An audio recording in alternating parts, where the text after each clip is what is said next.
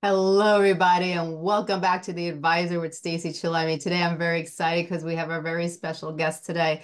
It's Coach Guy Gane. He also has a podcast on our channel, so make sure you check it out. He has amazing insight and wisdom and he's going to share some with you today. And he's going to show you some tools and techniques that you could apply to your own life to help you grow and really improve your overall self. So I'm going to give the the stage to Guy, and he's going to share with you some great things that you'll really appreciate. So, Guy, tell everybody a little about yourself and what you do. Okay. Uh, thank you again for having me on your show again, Stacey. I appreciate it. Uh, you know, from uh, for those that did not hear us the last time, um, I was a stockbroker for many, many years. I've been in the financial field for 34 years. And uh, I started uh, just as an average broker, um, you know, learning the trade, smiling and dialing, making 100 phone calls a day, uh, you know, picking out a stock that I was talking to clients about and so on. And as time went on and I learned the business more and more, um, I decided I had gone to a couple of different firms. And uh, over the years, I had finally decided after about, about 15, 16 years that uh, what I should do was go out on my own. I had clients that had followed me from um, the different brokerage firms. And I'd been with just a couple, but they had followed me from one brokerage firm to another. And I really thought that, uh, first of all, the commissions would be much better, you know, on my own. And the other thing was is that uh, what was always happening in, in uh, new companies is or new brokerage firms, excuse me, they wanted you to sell their particular funds or their particular uh, stocks that they had done uh, IPOs, which is uh, initial public offerings. So I really wanted to go out on my own and be able to open up um, in really a way that would give people an opportunity to get unbiased Uh, uh, advice. So uh, I uh, grew my company from really two people, and I eventually ended up with four offices on the East Coast. Buffalo, Jupiter. Buffalo was where my um, my main office was. Jupiter, Florida, Boston, and excuse me, New York City, and um, we had an office up in Maine, in Kennebunk, Maine, and we were opening up another office in in Boston.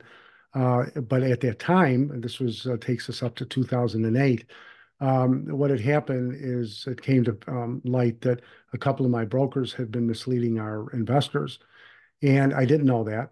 And I didn't find out until the United States government walked through the door and raided my office in May of 2008. And um, uh, I explained a lot of this in our first podcast.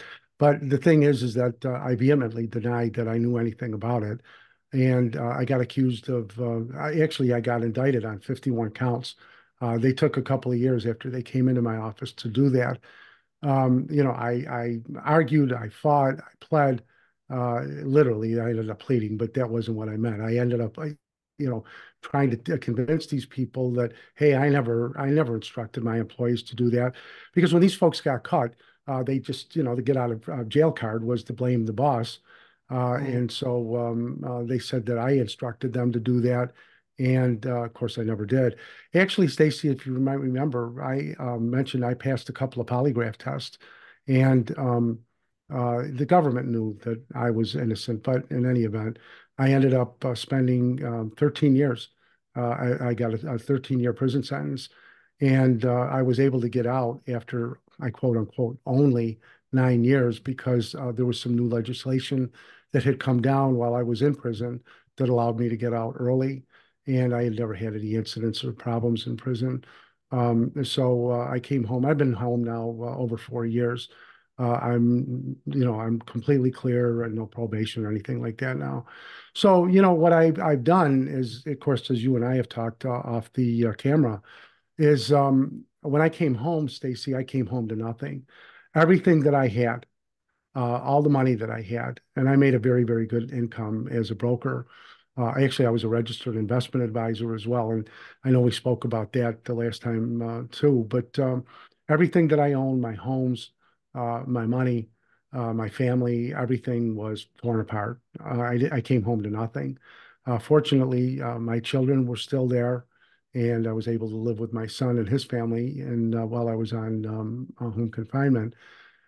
Uh, it was very difficult, you know, to come home to nothing. I mean, zero. it, the, the, I think the worst part was is to lose my reputation, because when the um, media got a hold of everything, they only were able to listen to the government's um, view and the government's story. And there's an adage that we all hear all the time: what you say can and will be used against you. So, as a defendant, I mean, uh, you know, you're not a, a, an ex-president that can say and do what they want and get away with it. Uh, when you're just an average guy, uh, anything that you say, you can literally get really in a lot of lot bigger problems than you had going in. I actually had somebody come into my office from one of the local um, uh, newspapers uh, after everything had happened, and he wanted, you know, my statement. And I said, I would love to talk with you. I, I and I, I, really would have, um, but I said I can't. I said I have to let you talk to my attorney. And uh, uh, as he walked out of the door, uh, I asked him, I said, well, what are you going to, what are you going to print? And he got real smart aleck with me and uh, like uh, put his uh, head over his shoulder and said, well, you're not going to want to put it in your scrapbook. But he was wrong, or he was wrong. I, I did put it in my scrapbook because what I did is I took all of the things that were said negative about me and all of those things I tried to make good out of everything that I had seen. You know, once I went to prison, Stacey, I had a lot of the professional uh, people that were there uh, as well doctors, attorneys, accountants, business people of various types, uh, other stockbrokers, and so on. And um, after a while, uh, I kind of become became an elder statesman with some of these people, and they come over to me. They used to my my my nickname in prison was Gino, and uh, even though my last name doesn't sound like we're Italian, but uh, was a Jovanishi is the last name. I always like to put that plug in. But um, uh, the thing is, is that uh, um, in prison, uh, I would I would get some of these people that would come over and had long faces, and it got to the point where guys would tease me and call me Saint Gino, the patron saint of lost causes, because they, I always seemed to be the guy that you know could talk to people. But you know, I had been through it, and I knew what they were feeling, and I told them, you know, from the very beginning, I said, you know, you've gotten a blessing that you don't realize yet. Oh yeah, what do you mean? I said, well, I said now you know who who your friends are, and now you know who really loves you. Because boy, I'll tell you, Stacey, before everything happened, man, I was the most popular guy in Buffalo. You know, everybody knew me. Everybody wanted to be around me. Everybody, you know, I had my own radio show. I had been on TV, uh, you know, in, in the good way uh, yeah. at that point up until then. But, you know, the thing is, is that in every adversity, I came to find through the College of Hard Knocks, I came yeah. to find that there is always something good that comes out of it. And, you know, I, I think we talked about this the last time, but I'd like to just mention this again if we did. Uh, after the government had come in, I, I was a pretty big guy back then. I was way overweight. I was too busy to do anything. I used to work out years ago, but I got so busy that I stopped. And of course, I was going to start on Monday, and Monday never got there.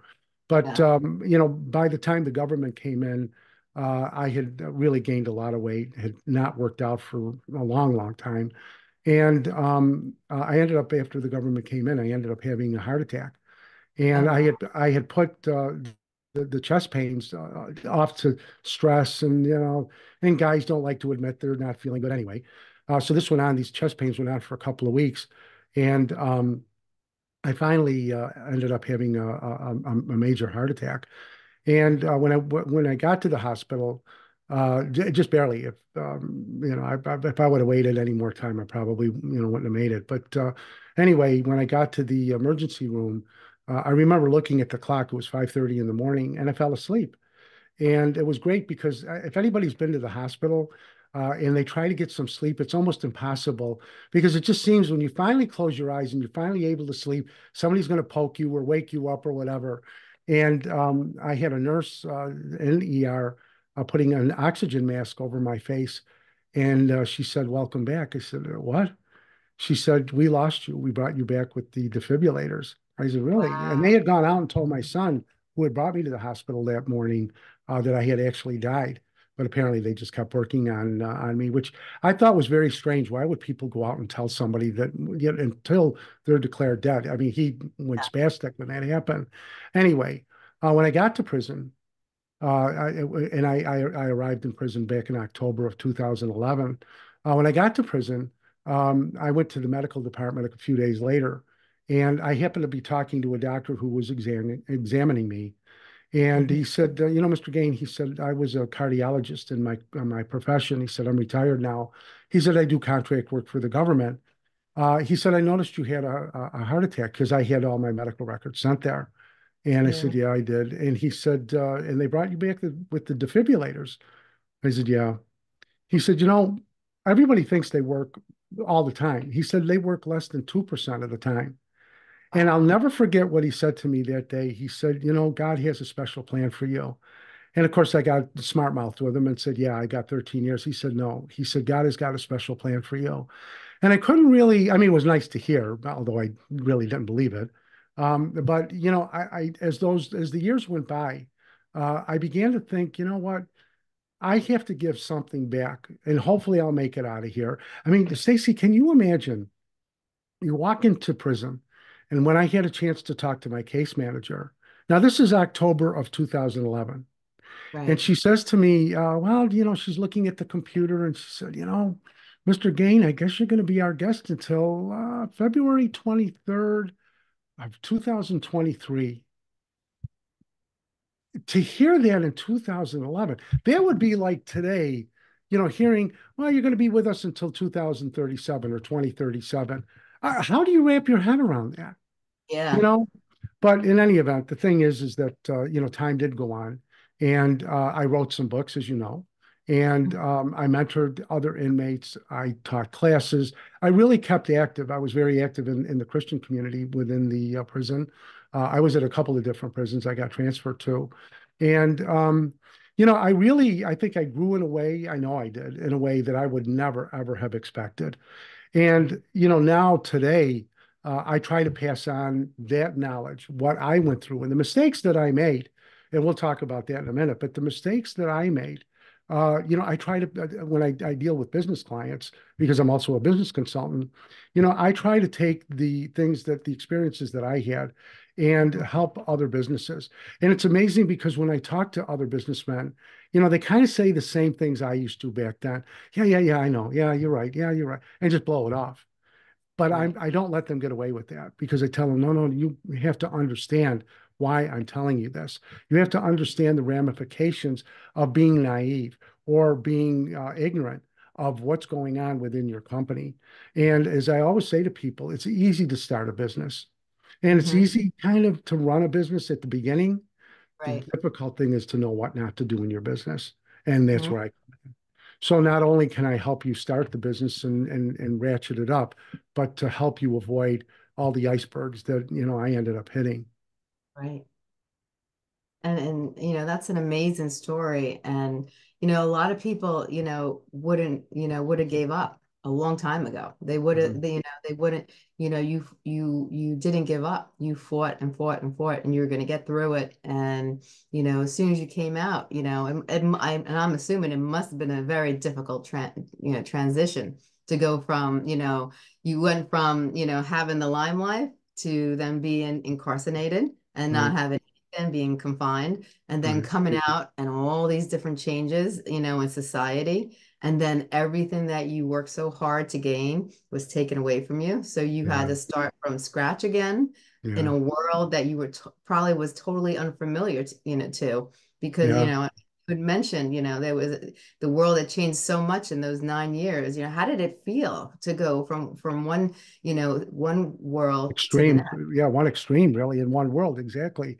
You know, I had been in my career so blessed because I made a great deal of money and I could go into a store and, you know, I just pick out things. I mean, it just, you know, you just, I want this, I want that, I'm going to pick this. And I was no shopaholic, but, uh, you know, I liked nice things. So if I wanted a, you know, something, I, I got it.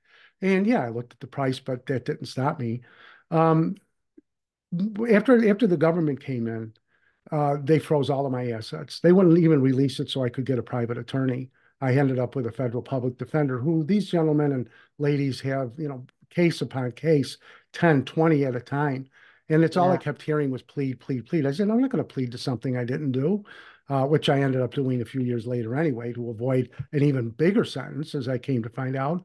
Um, but uh, the thing is, is that um, uh, after everything happened, we couldn't even we, we couldn't go to the store. We didn't have any money. and um, I was married at the time, and uh, you know, we went to food pantries. I mean, you talk about humbling. We went to food pantries. We had donations given to us. Uh, you know, people that I would see on the outside. You know, I didn't want to go out. You know, I wanted to stay home. But the few times that I went out, uh, I had people spit at me. I had people push me around uh, physically, and I mean that physically push me around. Uh, people actually spit at me, as I said. Um, you know, so all of these things. Where I tried to get a job. Uh, I couldn't work in my business anymore, and Yeah. uh, I, I actually I applied to. I think I look back. I think it was 14 or 15 companies. I think it was 14. I had actually gotten a job, and the job that they hired me for was a night janitor at a bowling alley. And I was supposed to start. I remember I went on that interview on a Thursday, and I was supposed to start Sunday, Sunday night Yeah. at 10:30. And uh, I got a letter from them on Saturday saying that the job offer was rescinded because of uh, negative uh, things that they found in my background, which obviously I knew about. And they did too. Anyway, uh, I could I can honestly say back in those days, I couldn't get a job washing toilets, and that's that's the truth. But you know, the thing is, is that you form a different type of character. And this is another thing that I used to say to the people that would come into prison. You know, okay, you might not be able to be a doctor anymore, but that doesn't take away your knowledge. That, you Yes. know, yeah, I'm part of the baby boomer generation, and we don't want to get old. I don't care how, you know, if you're anywhere between now the age of 60 and I think it's 78 or something like that, it doesn't matter. But, you know, we didn't want to get old. And I told these guys, I said, you know, these health clinics are popping up all over, these wellness clinics. Uh, I'm not Mhm. talking about critical care, I'm talking about wellness, you know, the Yeah. vitamins, the supplements, and all of that. I said, why don't you just start something like that? And, you know, uh, work to that, I- you know, have doctors work for you. All right, you don't have your license, but you have your knowledge. Or, Yeah. you know, with an attorney, you know, go work at a law office and you can do appeal work or, you know, whatever. But you Yeah. can't give up because when you give up, you know, I don't know if you're familiar with the book um, A Man's Search for Meaning by uh, Dr. Uh, Viktor Frankl. It was Mhm. written, uh, Dr. Frankl was a, a- psychiatrist, uh, and uh, he lived in, I believe he lived in Vienna uh, before the war. And being Jewish, he was um, he was arrested and put in a concentration camp. And uh, Dr. Frankl was an amazing individual, and I, I read the book while I was inside. But Yeah. w- what he spoke about was the people that had hope were the ones that were able to survive. But the Yeah. people that gave up, I actually have chills talking about it right now, because the people that gave up, they, they just they did they gave up. They gave into the circumstances, which were horrific. And I'm certainly not pointing a finger. I can't even imagine. You know, I had clients when I was a broker. I had uh, a handful of clients, about eight of them, that were uh, Holocaust survivors, and the Mhm. stories I would hear from them. And I got to tell you, Stacey, those people I remembered while I was in prison, and when I would start feeling really bad for myself, I would think about their, their stories and say, who am I to complain? I mean, I, you know, even though the food was terrible, I had food. And even Yeah. though, you know, it was overcrowded, you know, I wasn't sleeping in, in a bunk that was 20 to a, a bunk, uh, like Yeah. these folks had done. So I was trying to look at, if there was a bright side, I tried to look at that. And by helping other people, I was able to help myself because if I felt that I was contributing to other people, that Yeah. it was making me feel better. Because it's Right. almost like a by osmosis. If you're always talking negative, you know, all of a sudden, you know, you feel rotten. And, Yeah. you know, on the other hand, if you're always trying to talk about, you know, uh, more positive things, being more optimistic, you know, it, Yeah. it kind of pumps you up a little bit. It's almost, I don't want to say equate exactly, but like that fake it till you make it type of thing. And, um, you know, there is some truth in that, you know, live as, as if I am and I will be. But anyway, um, the thing is what you had asked about, you know, coming out. Um, we were talking before uh, we started the broadcast that uh, um, when I when before I went in, uh, Skype was the big thing, and Mhm. MySpace, if you remember MySpace, that was you know kind of the big thing too. Facebook had been out for a couple of years, but it wasn't as popular as it got. Um, but with uh, uh, with um, Skype, you know, there was those interruptions, you know, as you would have the video and you know it was freezing, freeze frames. Um, you Yeah. know, now I came out and there was Zoom and uh, of course COVID, you know, really contributed a lot to people being more used to doing this. But Yeah. uh, you know, I came out. I felt like I, I landed on Mars, as I had mentioned before we started. Um, you know, iPhones had just started to come out. Uh, I still had a flip phone when I went to prison. I, I had Yeah. to give up when I went to prison, but I had one before. Um, uh, iPads had just started getting popular. Um, a TV when I came back, and I was sitting at my, I remember those first couple of nights, I was looking at the TV. You ever see that dog? I think it's the old the RCA dog is, you know, mm-hmm. listening to the phonograph or whatever. I remember staring at the TV thinking, I can't believe how clear this is. Amazing. Yeah. You know, but um, you know, I didn't know how to work the phone. I, I my son had gotten me an iPhone. What the hell is an iPhone? I have no idea. You know, yeah. and what do you do with this thing? Uh, you know, so it took me uh, a while to really acclimate. But you know, the, the the the tough thing was is that looking at the things that were about me on the internet, you know, I was a thief, I was a liar, I was this, I was that, and that really hurt because that's not who I am. Um, yeah. You know, I've said to people, you know, being in the business as long as I was, I never had a customer complaint until all of this happened. And right. that's kind of a, I always took pride in that because I was always very careful as to how I dealt with my clients. You know, I never right. lied to them, never would lie to a client, never mislead right. them. And to be painted like that was just like, wow, I went 180 degrees different from where I was and who I was. Matter of fact, I remember the day that the judge sentenced me, uh, which actually just passed a few days ago, uh, a dubious anniversary. Um, he said, You know, Mr. Gane, you look like a nice man, but that's all you are is a wolf in sheep's clothing. I mean, he could have taken a knife and cut my heart out that day. And I remember when I, I, I was allowed to come back home before I reported to prison, and I had a fight for that because they wanted to take me that day.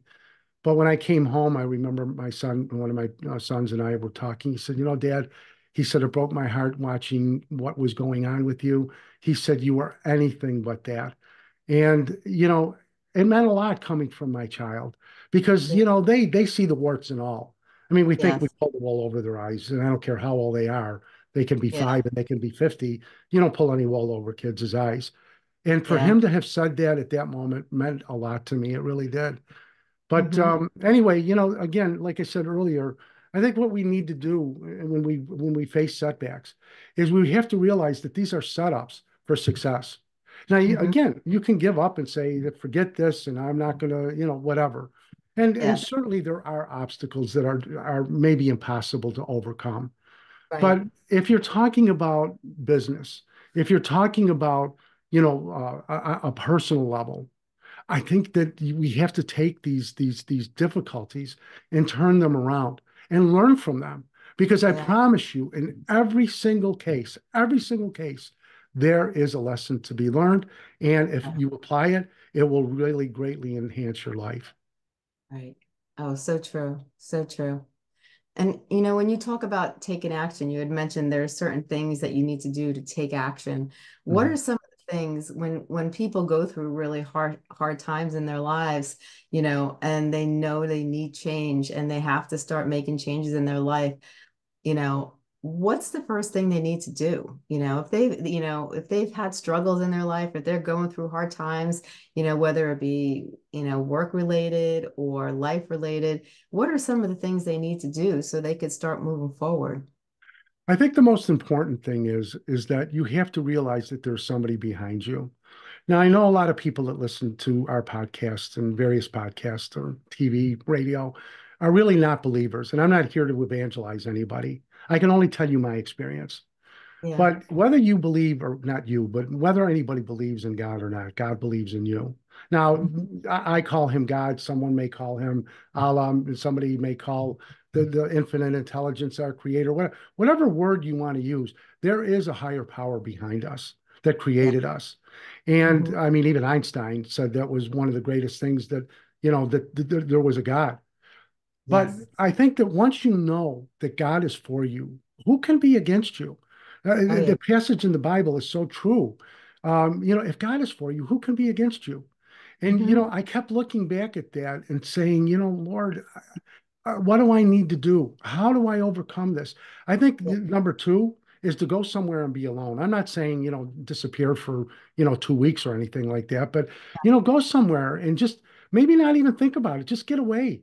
Because yeah. what will happen is if you clear your mind, which is not the easiest thing to do, but when you right. clear your mind, it doesn't have to be, well, yeah, I got this problem going and what am I going to do and how I'm going to solve it. For me, that doesn't work. I just yeah. have to clear my mind. And, you know, for me, I love the water. So if I'm near the water, I kind of get some energy from that. but I'm Yeah. able to I'm I'm able to communicate with God in a way that doesn't have to be with words. It's just that, you know, that feeling to know that an answer is coming. And no matter Yeah. what for me, now as you can tell, I am Christian, but for me, I know that that if it's not this, it's something better. I know that for a fact. And you Mhm. know, I'm not today where I want to be. It's taken a long time. As I said a minute ago, I came home.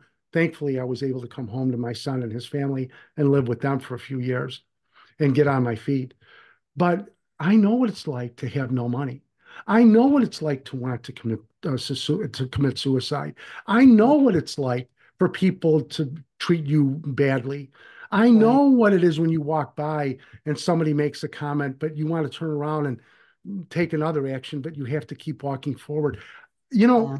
I'm the guy who I, I always say this, I'm the guy who's been there and done that. But you know, when when people come to me for coaching, they're getting somebody who really has been there and done that, as I said, because Yeah. you know, I haven't read all of these things in a book. And I'm not putting the, the, the coaches or anything down that have. I mean, I think it's very important to keep up with the education, but I lived it.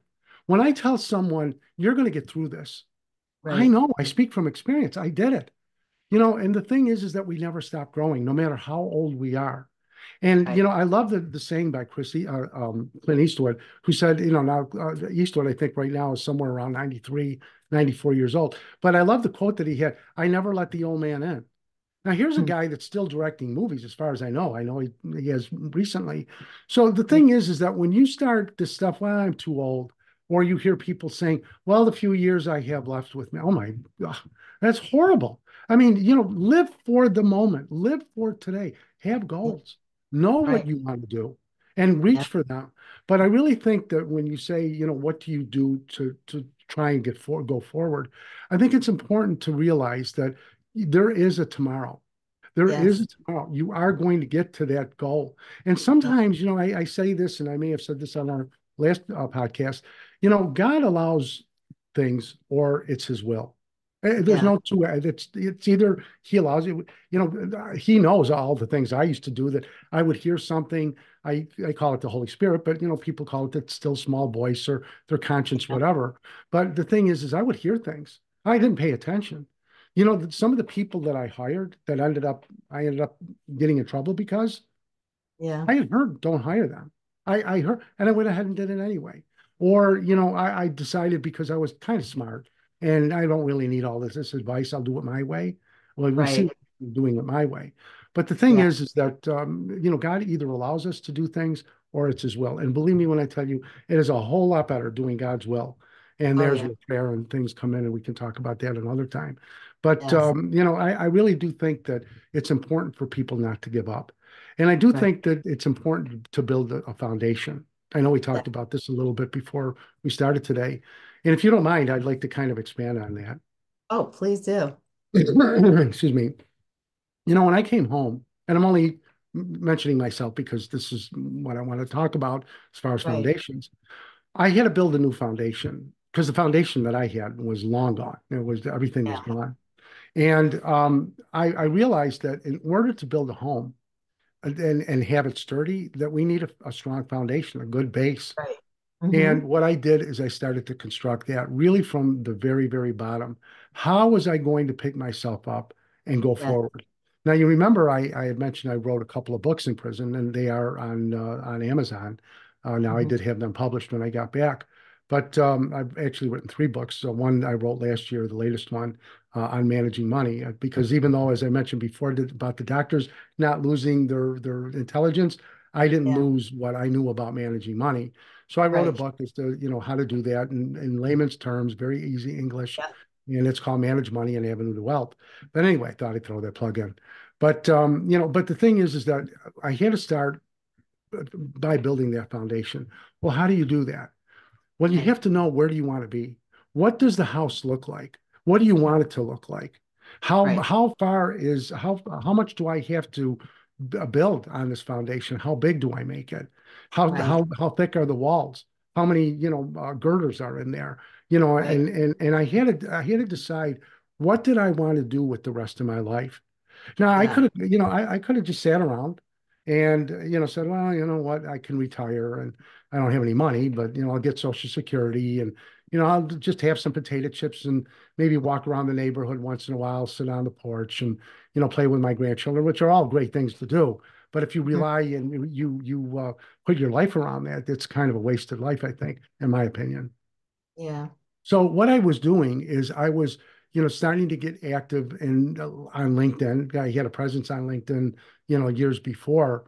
Um, as we speak right now, I've got um, I think close to nine thousand followers on on LinkedIn, and mm-hmm. um, you know I got somewhat involved with Facebook, only you know more for my uh, family and extended family in that, uh, and then I get requests you know from people that I used to know.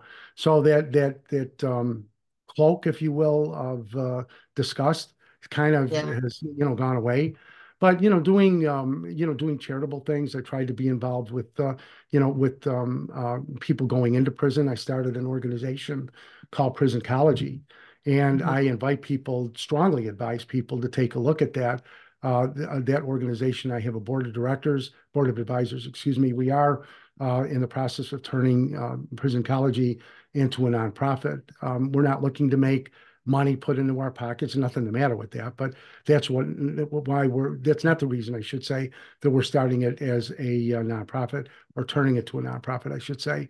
The reason that we want to do it that way is so when we go to a symposium or conference, then none of my board of advisors, who will become a board of directors at that point, will have to dig into their own pockets to go to these things. So the money will be there for them. But you know, maybe if I if, if I could just mention a little bit about Prisoncology. Um, before I went to prison, uh, you know, of course, I was scared out of my mind. I kept believing at the beginning that everything will be fine, to find out the truth, yeah. I'll be okay. I never believed that. I kept picturing that I was going to go to prison because I was so scared.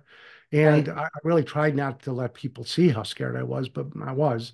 And, um, I, you know, I, just before I had gotten sentenced, a couple of months before I had gotten sentenced, uh, I had gotten uh, a referral to a prison consultant Mm-hmm. And uh, uh, you know, when I talked to this guy, uh, you know, he was telling me how he could, you know, maybe keep me out of prison, and you know, if I had to go, it wouldn't be very long.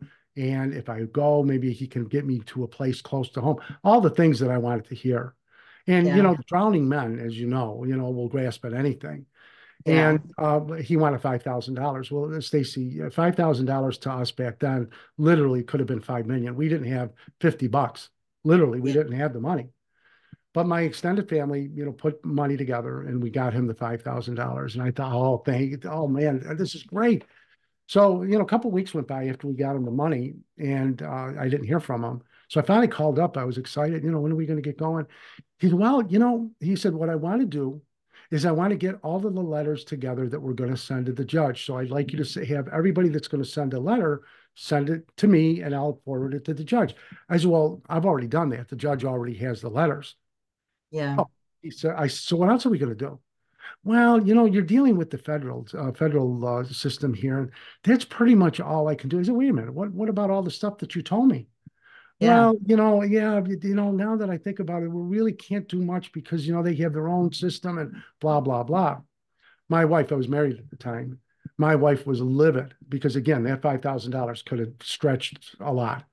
Yeah, called them up and she said, "We want our money back." Well, I don't give refer, uh, refunds. He he stole the money, in my opinion, from somebody who was so desperate and couldn't afford it, and he wouldn't give the money back.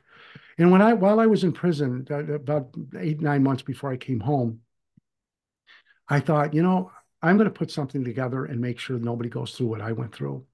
And not only that, but you know, especially white collar guys, yeah, they walk into prison unless they're a Bernie Madoff who kind of knew what they were doing for many years. A lot of guys yeah. get caught up, and uh, they had no idea that they were going to go end up their careers in prison. So yeah. I knew how strange it was for me. I knew how scary it was for me. So when I started putting this course together, uh, it was uh, for prison, what I ended up calling Prisoncology. It was yeah. really to help people that were coming into prison and trying to avoid all of the things that I went through. So what yeah. I was able to do is put a 110 page ebook together. Uh, when I got back to the uh, back home, I put a PowerPoint presentation together, and then I organized this company to make it where, you know, when people are going to prison as a mentorship, that they could come to us. We don't charge for that. Uh, we, Right. we have no no fees at all. Uh, we partnered with the Christian community nationwide, so you know our money is derived from different places like that. But the thing is, is that I wanted again to to make the path for someone else a little easier than the path Yeah. that I had. So you know when I started, when I came home, and I I know it's a long answer to what your question was, but that was one of the things that I was able to focus on something to try and make a positive change. And by helping other people, as I mentioned earlier, it was helping me too. It was Right. cathartic because I was able to think outside of, you know, just poor me and I can't believe all of this happened. And don't get me wrong, I, I was like that a lot. You know, I mean, I'm human. And I'm thinking, oh, Yeah. I can't believe, you know, I go to the store and I can't buy this or that, or I look at the price tags now and, you know, I have to put things back. And, it, it- you know, it still bothers me after all of these years. I mean, I live with it. But you know what? The good thing was, is where before I just didn't really care. I just spent the money. Today, Right. I become much, much wiser. And it was funny because, you know, when I was thinking, what am I going to, I can't go back to my old email. My old email address was capitalgain29 at AOL.com.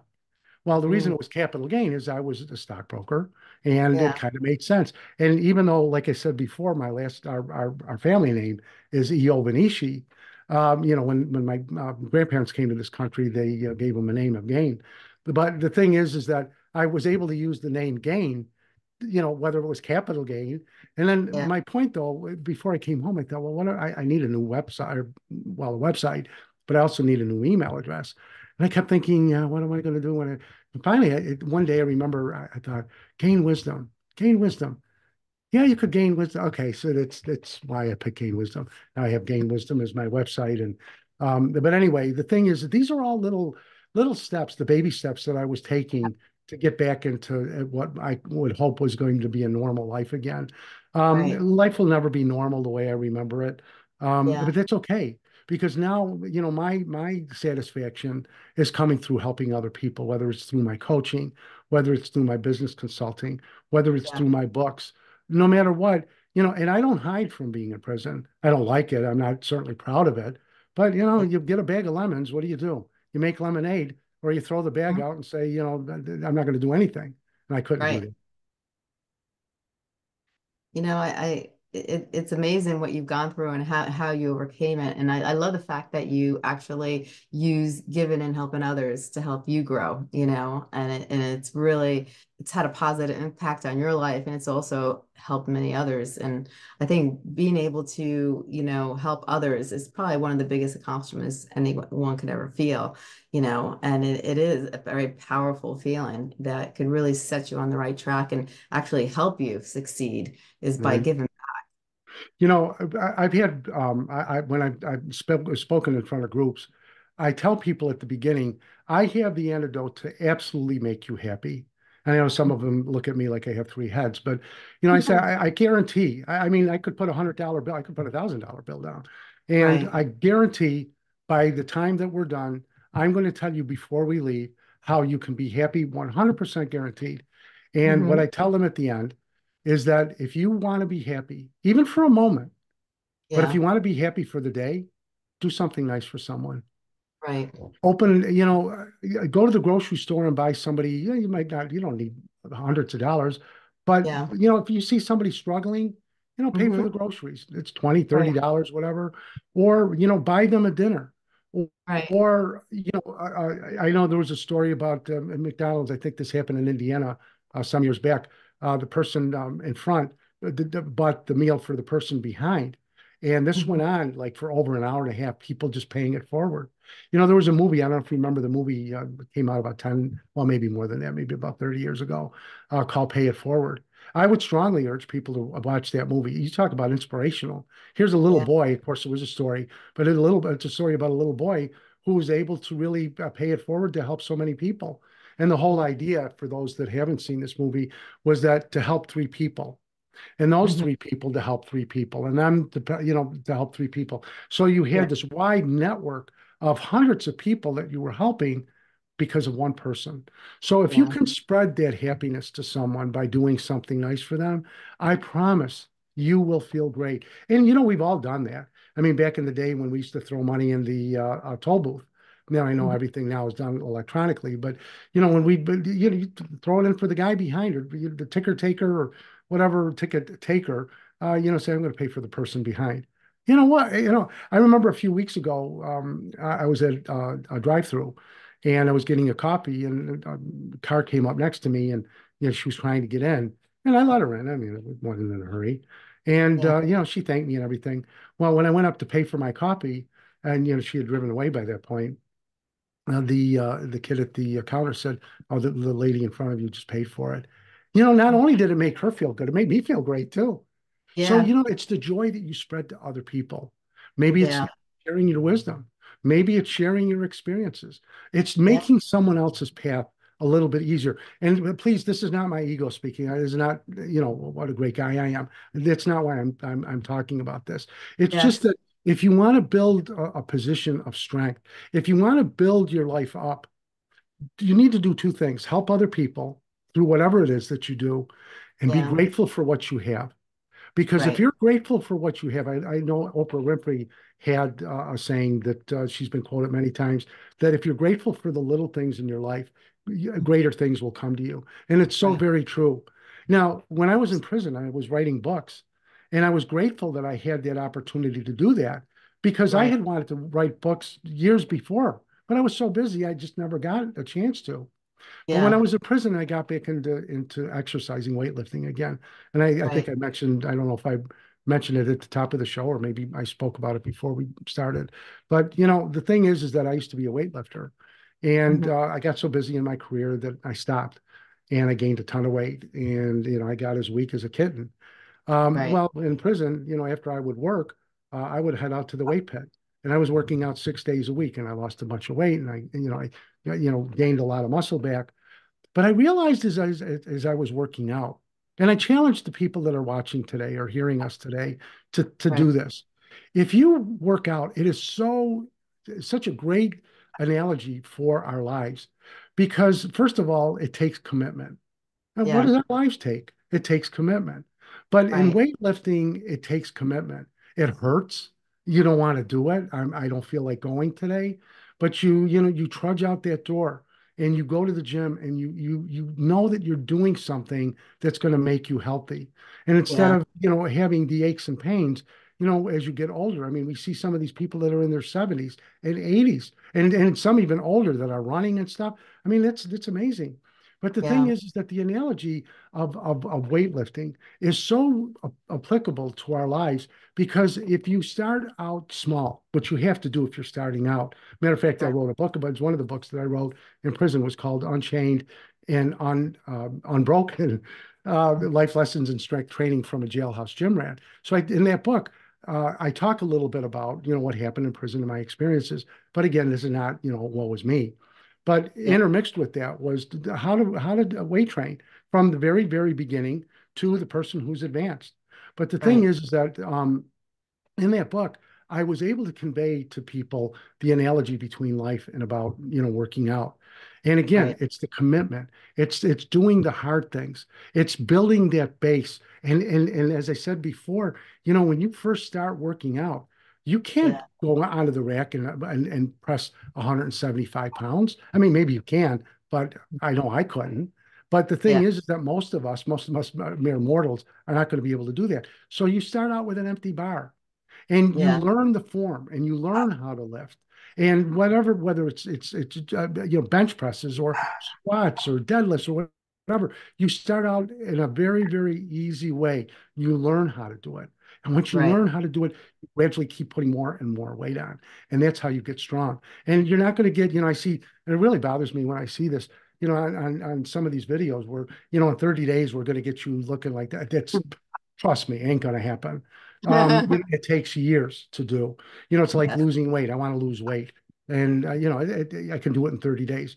Well, yeah, you can probably lose five, maybe 10 pounds in 30 days, but you know, it's going to take a lot of sacrifice. But it's over ah. and over and over. It's knowing that foundation. What do I need to do? And again, you can apply it to weightlifting. You can apply it to cardio work. You can apply it to your life because it's mm-hmm. going to take the repetition. But the big thing is, it's going to take the commitment. You have to commit. You have to make that goal and say, this is important enough to me that I'm going to do whatever it need I need to do to take Yes. action and to get to my goal. Right. Exactly. Exactly. And then let me ask you another question. How did you not give up?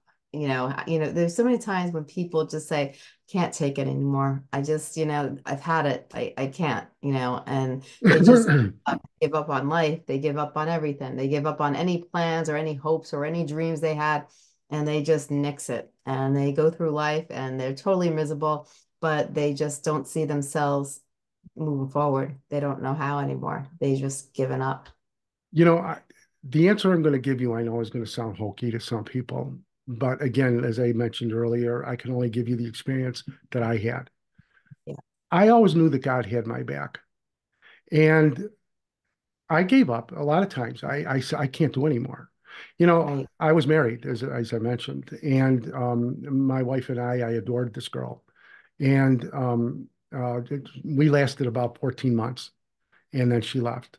And you talk about giving up. I mean, I remember the first night that I got to prison, uh, the very first night, and I put my um, my shirt over my my face, and I was crying my eyes out.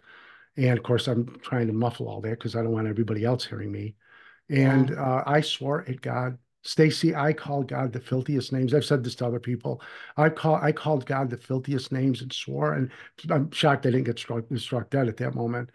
But you know, the thing is that I kept saying, you know, you you and I both know the truth. How could this? How could you allow this to happen? How can this happen to me? Not only that, but I died, and you brought me back to this, knowing that I was innocent. And it didn't matter if anybody else believed me. It it just didn't at that moment and I wanted to give up. And you know, when uh, 14 months later, when my wife left, I wanted to give up. I, I want really, I wanted to take, I uh, just wanted to end it all. And I remember that day, um, you know, when I knew it was finally over, I, I remember looking up at the ceiling and saying, "God, what do you want to take my kids now from me? I mean, is that the next thing you want to do?" And I was, mm-hmm. I was mad. I was really mad, and I just, you know, I don't want to do anything. To give up is doesn't mean really to give up. It means to regroup. And I think if we realize that that, you know, if if we allow, you know, if we allow negative people around us, mm-hmm. you know, mm-hmm. you will give up. So I think yeah. it's really important not to be around people that are always moaning and groaning and complaining. That is so important. Stay away from those buzzards because yeah. misery does really love company. And yes. you know, it, it happens when you know when we go to a new job, especially when we're young and we start yeah. a new job, and you know, you, you get the complainers in that office or that factory or whatever, and they don't like the boss and they don't like the company, and they're going to do this and they're going to do that, and you try to fit in. It happens in school too. You try to fit in. You don't want to be different at that point. You right. don't want people not to like you. So you right. start drifting along. And when you're drifting along with these people, they are not helping you at all.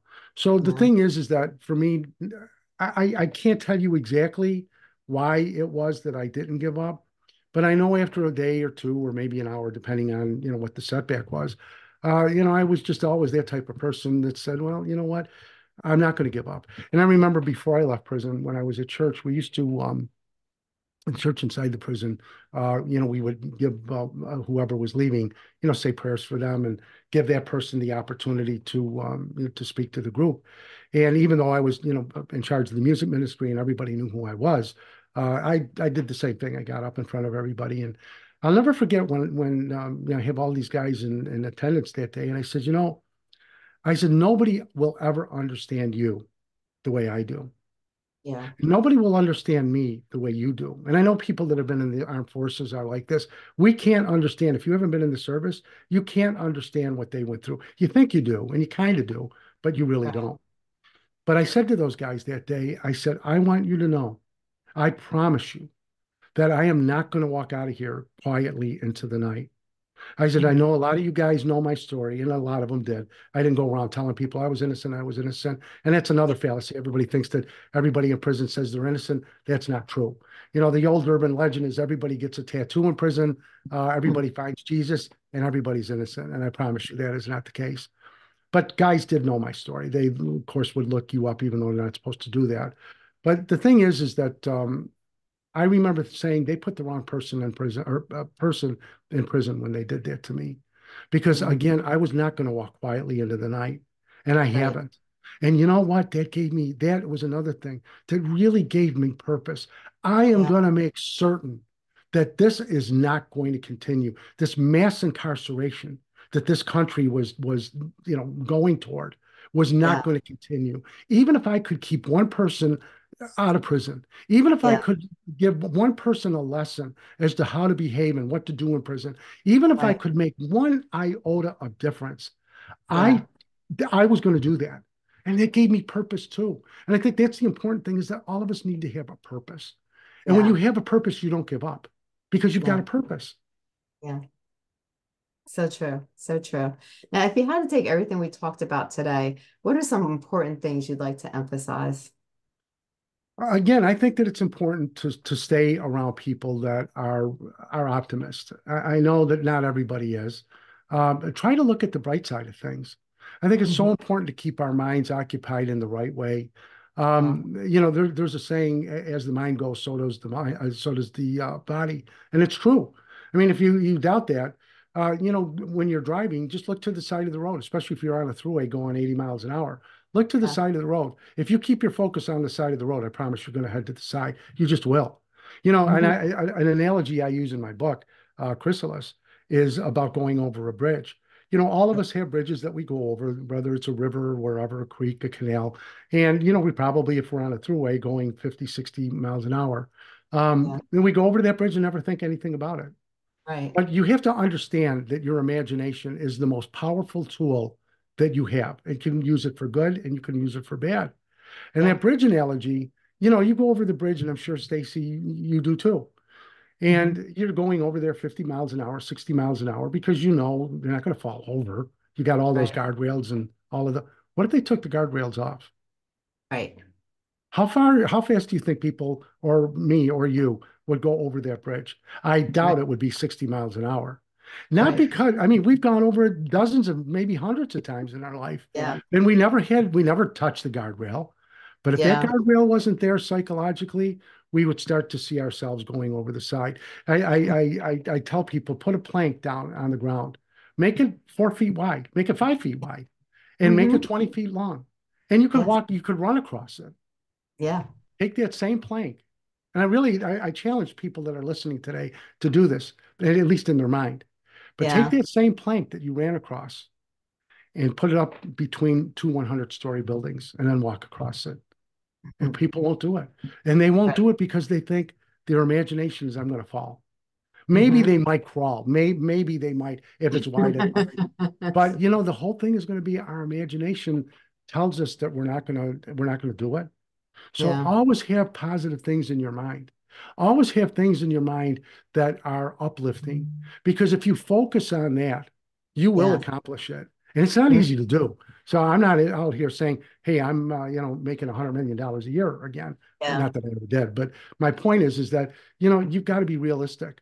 But I think Right. you have to step back. I think you have to get away from, like we talked at the top of the show. We have to step back and be alone for a little bit. And you know, this is not a one process. This might Right. take weeks, might take months, might take years. Uh, Yeah. Everything is different for each one of us. But the thing is, is that if you're able to get away, and I'm not talking about, you know, just turning on the TV and chilling out, or you know, uh, uh, grabbing your phone and looking at TikTok while you're, you know, supposed to be contemplating. Go away, Right. put the stuff, leave that, leave the phone in the car. Whoever is important, they'll call you back. You know, and you can call them back. But the thing Mhm. is, is that you need some alone time, whether it's 30 minutes or an hour. I would say it, it should be at least an hour. But the thing is, get away and allow your mind to relax. Allow your mind to become part of who we really are. And that's part Yeah. of God. Hundred percent. That's so true. Now, tell everybody some of the services that you have to offer. Yeah, I um as we mentioned, uh, I'm a performance coach, a life coach. I only deal with 12 clients a year, and uh, the reason I do is because I try to devote a lot of time to them, uh, an hour a month. And um, the reason I do that is I ask people to, you know, send me in whatever they're doing for that week at the end of the week to let me know what we need to adjust, what we need to kind of tweak.